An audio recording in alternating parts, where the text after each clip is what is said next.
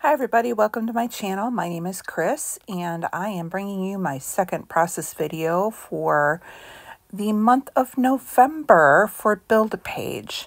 So today we are going to be doing uh, this game night layout I have two photos, one of my grandkids playing with a giant checkerboard and another one of us at a restaurant. This is from a night that we were actually um, babysitting for them and we just had a fun night of going to the playground, riding on our golf cart, and also um, playing, you know, this giant checkerboard and other games, and then going out to dinner. So I'm using this um, paper from um, Echo Park and the first thing I'm going to do is mat the two photos onto this kind of geometric star shape um, paper. Um, I like the white background and then it has like the starburst in yellow and blue, which is going to bring in all of our colors. I'm going to give it a bigger mat. So you're going to see here, I'm just going to go ahead and cut it down. And then I'm going to mat the whole thing on the navy blue, which is going to make it all stand up, out against the blue paper that we have for the background. And I'm just going to, again, trim it down. Now, I did cut apart two cut aparts. One was a journaling card, and another one um, just said family night. I'm going to end up only using the family night one. I tried to use um, the journaling card one too, but it just wouldn't fit in with the design that I've got. The other thing I'm going to do is take one of these 6 by 6 uh, paper pad, cutting uh, two pieces down at two and a half by 6.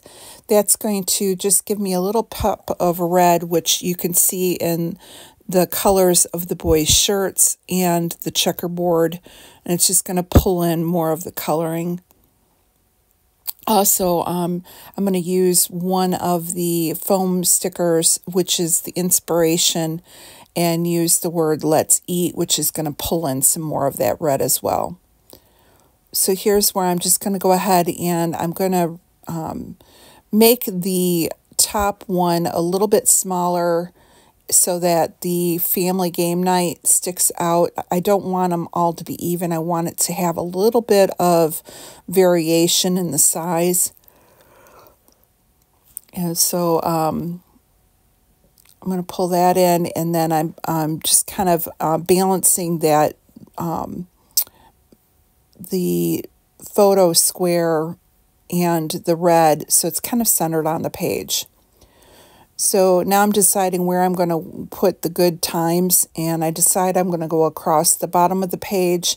I'm going to angle the word fun so I'll have a title of uh, Fun Family uh, Good Times. And here's where I bring in that Let's Eat. I have the word score over by where they're playing the game. And I'm just now going to kind of start building my clusters. So I know that I have one cluster is going to be where it says let's eat. So I'm going to pull in the other half of that um, restaurant um, bill receipt.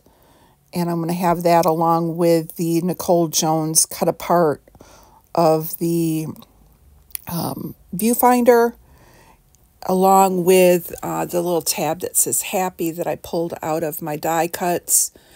I'm going to use the other Nicole Jones uh, cut apart of the, um, like the um, circular uh, label along with one of the sketchy cameras.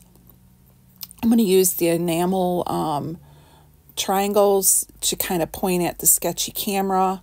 And then I used one of the foam arrows to point at the word fun and threw some of those enamel triangles on top of that. And then in the bottom, I'm going to have another sketchy camera along with two of the foam arrows pointing at good times.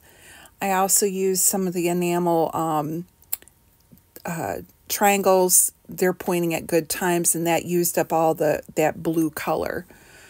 Now I'm just going on to the 12 by 12 sticker sheet and I'm going to add the word uh, family time above let's eat. I will have um, below family game night word champs and game on.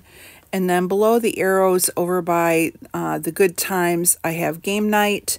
And below good times, I have memories. The last thing I'm going to do is go through here and put some of these enamel um, dots or gems in each of the corners and scatter them throughout.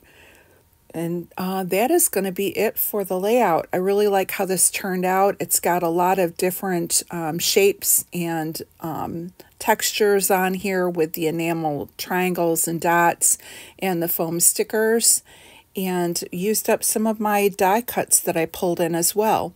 So here are some cl um, close-ups for you. I want to thank you so much for stopping by.